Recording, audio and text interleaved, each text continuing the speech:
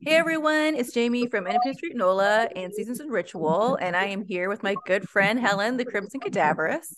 Hello. I And as you can see- burning above me. My Yes, head's her head- on fire. Don't worry. It's the magic, it's the magic of technology. Yes. As you can see, we are um, on Zoom today because it is Mardi Gras, and we are stuck. Is that the right word to say? Stuck in our respective homes. Yeah, you're kind of stuck in a box right now. That's what they call it for friends. So, um, so we're going to bring you uh, this weekly celestial update, um, just from other on two different sides of New Orleans. Yes. Okay. So we start off, we start off Monday. It's a big this a big way to start off the week, which is funny because most people have the day off because it's President's Day. Oh, it's President's Day too? Because I'm just thinking of it being Monday Gras. Well, sure, because that's what we do. Okay, so it's like a it's all another holiday. Okay. Yes. So a lot of people have a the day off. yes. Interesting. So they have a four day weekend. Yes, that makes sense. And it's interesting because you're right, it starts off like literally the beginning of the week. I think it's at 1:06 a.m. So like as soon as we go over into Monday, we get this Pisces moon, new moon to start Right. the week off right. Um, and it's a super new moon. Yes, Which is means funny. The moon is close to the earth, even Right, which can't see her. I was gonna always say I always think it's funny when we call it super when it's Right. dark A new moon, new moon. Yeah, it's funny. Um, and so it is in Pisces. It is we're we'll, we're filming this on the 19th, on Sunday on the 19th. Yes, we we're just started Pisces. Yeah.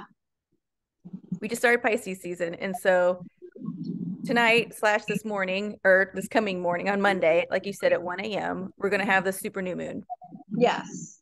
um in Pisces. Yes. And this is a huge energy, you guys. I'm gonna do a video on it tomorrow, and then Helen, are you gonna write on it? Yeah, I'll write about it in the morning. I kind of want to let like the dream world kind of sit uh, sit in with that one because Pisces is definitely of the dream world, and it's basically gonna be happening when I assume most of us are gonna be asleep. So I think that's that's kind of perfect timing. Oh, which by the way, you were in my dream last night. Oh, I You hope I was helping- fun. It it was. You were helping me. You you were getting you, you you handed me a light or something so I could see. Oh, that sounds like me. Yes, and also though, like the theme about the dream, which you know I can't hundred percent remember, it was about the moons. Oh, okay, nice. Well, I know. So talk you. about that a lot, so it makes sense. Yes. Yeah. Okay, guys. So we're back. Okay, so Moon and Pisces, we're Pisces season, new Moon and Pisces. It will be sextiling the North Node, Yep, and Uranus. right? Who are both still, and so who are both still in Taurus. Right, Um, sextiling is how many degrees apart? sixty. So, So like that's two a lot of good energy. Two signs. Yep. Yeah. And it's interesting because we've been dealing with a lot of like ending energy recently and beginning. Mhm. And this new moon is kind of like the peak of that because Mhm. we've got the Pisces new moon, which obviously Pisces is the last zodiac sign, so the end, but a new moon is beginning. Mhm. But then we also have the same day Venus entering Aries, so leaving the last zodiac sign, Pisces, and then entering Aries, the first zodiac sign. So we've got all this like we've already had like a bunch of ending beginning energy, but this particular new moon is like ending beginning, ending beginning, ending beginning. Which is Pisces at its highest. Exactly. It's like those two fishes looking both ways. Mhm. And to me, that's perfect. And it's a great way to start Pisces season to have this like Pisces new moon to start it off with. I know, and I really feel like we're in just in a different time and era, which I know you and I both know this, and um, obviously the people that listen to us both know this too. But like, I have to tell you, this is probably the first Pisces season that I've actually looked forward to. Oh yeah, I actually been looking forward to it a lot. And you know, I, I was anyways, but then once I saw that Venus was entering Aries on the same day, I was like, oh, that's perfect because Venus loves Pisces. Right. But like also Venus likes to get moving too, which is like perfect in Aries. And I'm like, this is like to move out of like a sign she really, really likes. And then like this initiating energy with the new moon at the same time. I'm like, that's perfect. So you guys, it's really important to set these intentions. Yes. And just know you got time to do it. And if you miss this, and you can always come back, the energy is still there. Mm-hmm. So, um, and like I said, I'll do a video tomorrow, and Miss Helen will write about it tomorrow as well. Yes. So on Tuesday, we will still have the moon in Pisces. Mm-hmm. It'll be squaring Mars, who's still in Gemini. Yes. Now that's actually after the moon moves into Aries later on. Oh wait, the, it'll be squaring Mars and Gemini after it Oh moves wait, into no, Aries. no, no. I'm sorry. I Okay. don't know what I'm talking about. Excuse me. Square. square It's Mardi. Gras. We've got Mardi Gras brain. Yeah, I know. Excuse me. So yes, you're right. Moon in Pisces, square Mars, conjunct Neptune, sextile Pluto, all before moving into Aries. hmm And so, um, which is funny when Helen says not really because she writes the notes. So right. I'm all like, shit, I'm reading your notes. Okay. So the moon and the moon is still sitting in Pisces and it'll be squaring Mars and Gemini. Yes. And so again, when um, when planets square each other, looking at each other eye to eye.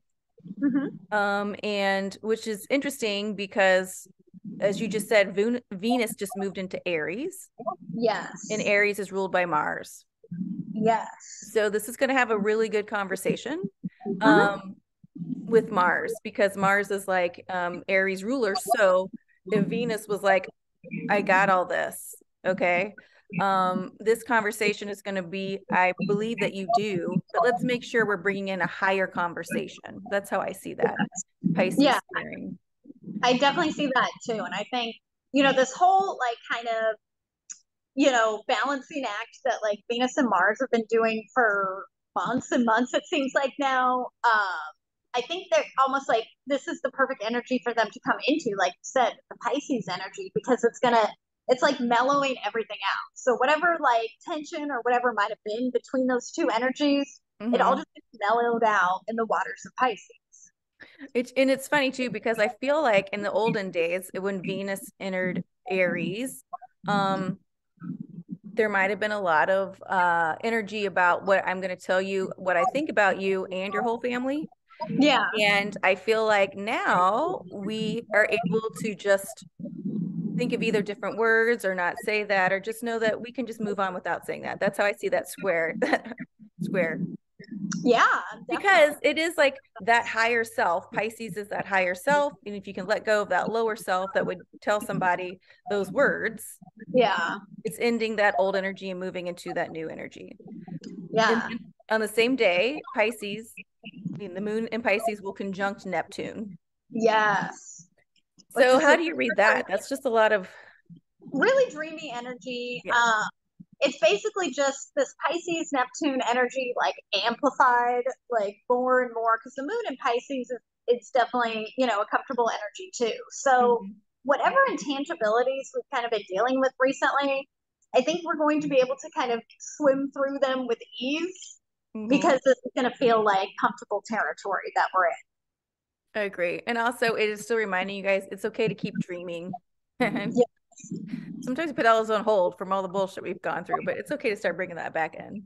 Right. Well, it's interesting that you mentioned like uh, kind of like thinking about things differently because we've got the Mercury square Uranus happening on the same day, which I feel like, you know, Mercury is our mind and communication, and Uranus is kind of like the higher octave of our mind, and definitely also wants us to do things differently. I think we are kind of changing our narratives, like Mhm. continuing to change the narrative of like what we tell ourselves, how we show up in the world, you know, Yeah. and that definitely seems very obvious with that. I agree. That's that's a really good way to to frame that as well. Um, and also that Moon and Pisces will sextile Pluto, who's still hanging out that last degree of Capricorn. Yep. Um, Transmuting things easily, mhm. letting things go. Right, realizing you can work differently. Yes, definitely. There's a lot of like realizing, thinking, working, doing differently Yeah. on with the energy of that day. And then at the end of the day, um, the moon will move into Aries. Yes, which actually sets the scene for something really interesting because we have so many different planetary bodies in Aries already. Hmm The next few days, the moon just kind of goes along meeting up with all of them. Which is kind of funny because with us, that will be Fat Tuesday, Oh yeah, like from Tuesday going into uh, Ash Wednesday. Wednesday. and then Mhm. which will be then Ash Wednesday for Catholics, um, Yeah. which is when we start to, which is when we kick off the Lenten season. Yeah. Yeah. Which leads us to Easter, but you know, and spring and all that stuff. Yeah. Right. Okay. So on Wednesday, the moon, well, the end of Tuesday, the moon moves into Aries. Yeah. And then Wednesday, moon is in Aries. And it's, mm-hmm. and let's, all right, let's just go over a list who's already in Aries. Yes. Jupiter, Yep. Venus, she just moved in there. Yep. Vesta Yep. and Chiron. Yep. They're already there. Already in Aries. And once the moon starts moving through there, starts meeting up on that day with all four of those planetary bodies. That's party. Yes, it's quite the party. And I mean, it's already, again, we talked about having like beginning energy, like initiating energy. You can't really get more initiatory than Aries energy. That's what Aries is all about, is starting things, something new, you know, moving forward. And, you know, we've got this really interesting energy on that day with all these conjunctions, because that's a lot of different energies. Venus is kind of like our value system, Jupiter is our beliefs, which kind of goes together, but kind of doesn't. Um, Vesta is our eternal flame. Chiron is how we heal. And so, like, all these things are kind of coming together with the moon, Right. which is like our inner self, our heart, our feelings. Our intuition. Right. I think it's almost like we get to start anew in Mhm. these areas Mhm. and like something like maybe feeling differently about them, looking at them differently, um, something like that. Yeah, I agree with you. I feel like too, because that Aries is that initiation. And I feel like because that Chiron, to me, that's who's jumping out the most. So I really do think it's a healing. Yeah. And, it, and, it, and it, it really is that we are able to trust, like you said, ourselves. We can, our faith. And, Yeah. and, in faith. And, you know, Vesta, our eternal flame. So, Right. She's the one that keeps us going. You know, if we have that, I always think of her as like kind of like the pilot light. You know, you may not always have the the uh, burner turned on, but you have the pilot light going so that when you need to turn it up, you can.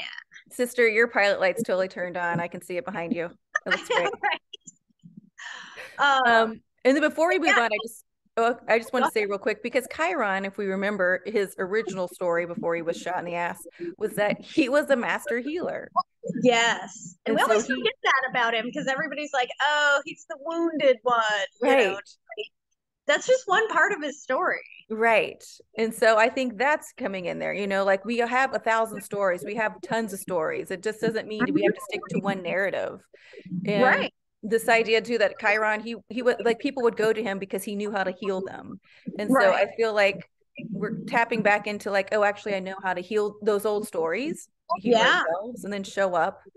Um like well, you and make said, it also not just so much like heal ourselves, but see things as something that were almost like more like a gift as opposed to something that like hurt us. We had to heal it. Be like, Yeah. this happened to move us forward. So I Right. think that with Chiron is, you know, again, everybody focuses on the like he's the wounded, wounded healer. And it's Right. like, no, he's the great healer. He was able to heal so many different things. And like obviously the irony is he couldn't heal himself, but like he healed himself enough not to die.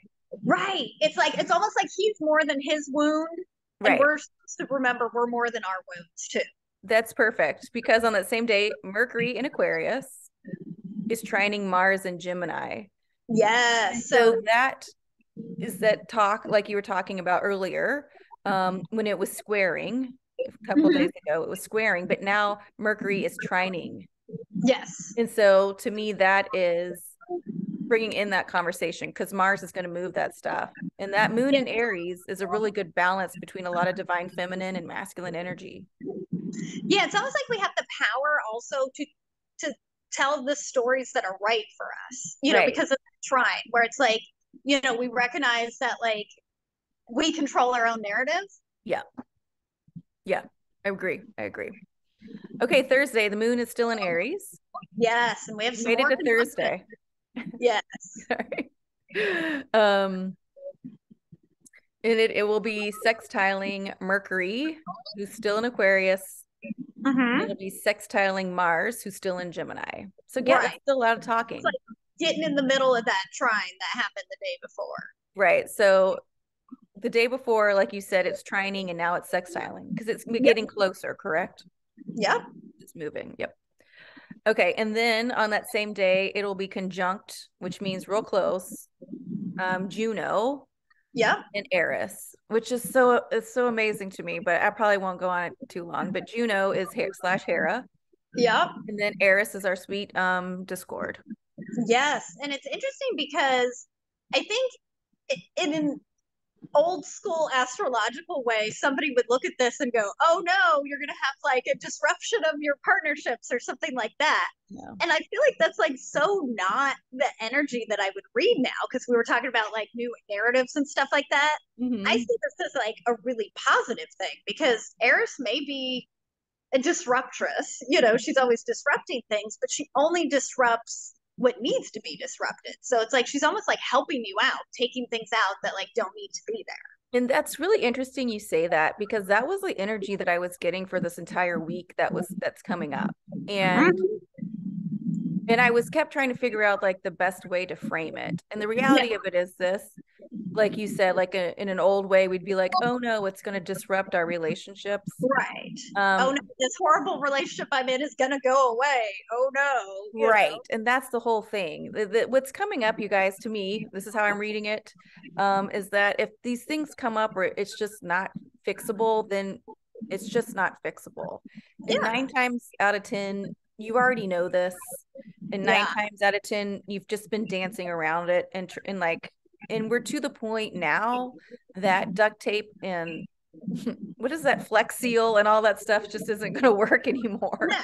And it's almost like you gotta ask yourself why are you're even trying to do that. right and, and I think that might be something that kind of comes up again, Juno, you know, with partnerships. And I don't necessarily mean like, you know, I think everybody's going to break up with their partner or something. no like no that. i know Maybe more like just the part, the way we partner with the rest of the world might have to be disrupted. It might have to shift for us to like see something different. And I don't, I don't think it's going to be a bad thing. I think it's almost going to be like a welcoming where it's like, all right, now I don't have to do that anymore. Cool. And I was going to say too, like you just you hit on something too. It was like maybe we we, we break up with our old self. Yeah. Like the discord comes in that we don't. Yeah. We basically that's it. I won't keep, but basically break up with our old self. Like it's okay. Yeah. I definitely see that. Yeah. And I think again, it's it's going to be a welcome thing. Yes. Yeah. So just know that you guys just we can frame things, keep things moving, even if it be like. Eh. Um, but I think it's going to be good. Okay, so Friday the twenty fourth. The moon is still in Aries. Yes. Okay, it will be sextiling. I know. It'll be sextiling Saturn, who's Yep. in the at the end of Aquarius, Yes. right? And so you've got to if we if you've been following along this long story that we've been laying out for the week, um, a lot of things are moving and shifting, and now um, everyone's hanging out in Aries, having a good time. Yeah. The moon is moving through Aries, and it's and it's talking to Saturn, who's in Aquarius. Right. like okay how do we start making this uh tangible or um How do we Curious about things. Yeah. yeah yeah um and then it will also be squaring pluto who's in the end of capricorn Which he's going to ask us to get rid of whatever's keeping things from happening the way we need to happen. Like Okay. he's definitely going to ask that. You know, and that's what Pluto does. He he asks us to, you know, get rid of things, but he does it for a reason. Death Kind of like his sister Eris. You know, Yeah. they're both always like, if it's if it's got to go, it's got to go for a reason. right um and so then and then finally the moon will move into A- or the moon will move out of aries into taurus Yes. okay And then we and- have another conjunction, this time with the North Node. Right. And the north node is what we're striving for, you guys. Those are the lunar north nodes, are the nodes, the lunar north node. So it is what we are striving for. Yep. So, So- with the moon merging energies with the North Node, it's like we feel one with our the correct direction. You know, the the way that we need to be moving. Which is good because there is this. I mean, this week can be. uh, I mean, it looks like it could be bumpy, not in Yeah. a bad way, but it could be bumpy. And so when that moon moves into Taurus, um, you know, Taurus is a fixed sign. Yeah. So we can. It's we're gonna start grounding this shit in was what I was going to say, but we can start grounding in this energy and Oh, yeah. that we are moving to our highest goal. Yeah, exactly. And with the sextile with the sun around the same time, I think that definitely solidifies that energy because, like, we're feeling at one with the direction we're moving in, and we're feeling at one with ourselves. We feel like mm-hmm. we're flowing with our authenticity. Yeah. And we're just going to have to know with that sextile with the sun, who's in Pisces now. Pisces at its highest self is beginning and endings like that, you guys. Yeah. Yeah, and it's I think we we're gonna have a lot of lines drawn in the sand, Yep. but again, in a good way. You know, Yeah. it's gonna be like this is just where I was, this is where I'm at now, and moving forward. Right. And also, if it's like, if we're talking about Pisces bringing in those dreams, it's sort of like we're getting this energy of like, I mean, not to be dramatic, but kind of like now or never. Like, Yes. we've got and to go. Good that you bring that up because we've got the square with Lilith. Sweet, sweet which little. Oh yeah. And I think, you know, again, deeply misunderstood, of course, but she's she's our inner bitch and in a good way. Like I really say that in a loving way that she's like the one that keeps us from ever letting anything bad happen to us and doesn't worry about being polite when she's doing it. She's just like, nope, you know, if this isn't right Mhm. for you, I'm gonna not let it happen. Yeah. And I feel like she kind of like fights for us on that day or like Mhm. kind of forces us to fight for ourselves. So we're like, no, I got to fight for what's true to me, what my true path is, not what somebody's telling me, not what I think I'm supposed to do. Right. And which is interesting because before before when we were in that age of Pisces, I feel like when we tried to stick up for ourselves or um, say this is what I've got to do, we were either then gaslit Yep. or we were distracted or then something happened so we couldn't move Right. like what we want to do. And now that we're out of that, when it comes back up, we're just going to be like, no, this is these are the facts and this is what I want Yeah. to Yeah. And I think, again, you know, the square almost like, again, sometimes we think of that as like challenging tension, but I think it's a tension in a good way that's going to say to us, like, we have to stand up for ourselves. Yeah. We have to do what's right for us. because she's Worry about that. Other right because notions of things. yes, um because she's in Leo. Mm-hmm. And Leo is our confidence. So Yes. we need to have that confidence. We need to have confidence like, yeah, we're doing this. Right, exactly. And she's, I think, if there's any kind of challenges presented on that day, it's going to be for her to like kind of remind us that we really can fight for that for ourselves. Mm-hmm. I agree. Okay, we're moving to Saturday. Yep. Okay. Saturday, the moon will still be in Taurus. Yep. Um, so that means it will be conjunct Uranus because Uranus is still still in Taurus. Yes. And this conjunction, you know, it's interesting because for a while we had the North Node and Uranus very close to one another. They're starting to move further apart. So when we start to see things, you know, with the two, the North Node and Uranus, we start to see them on different days now. So Yes. it used to be like all of the same day. So that energy is kind of moving apart, which I, I like to mention that because we have been kind of sitting in it for a while. Yeah. But with the moon being conjunct Uranus on this day, again in Taurus, you know, as that's been, um, I almost feel like there's something about like a new direction that we're moving in that we're locking in on that day. That we're starting to feel like comfortable with, where it's like, yes, this new direction is where I'm supposed to be going. It feels right for me. Locking it in, you know, with that fixed Taurus energy. Yes, and I also think too, like because it's the moon, we're gonna start listening. We're gonna start noticing that our intuition or that voice in our head is is start starting that new narrative. It's Yeah. gonna sound different. It's gonna Yep. start saying how we're putting ourselves first Mm-hmm. and how we can make that happen. And you know, that same day, Square Mercury supports that because that's again like saying almost like challenging you to make sure how you're speaking about yourself is the way you should be speaking about yourself. The narratives you're telling you are these the right narratives? You know, we might have to like kind of sit with ourselves and go, you know what?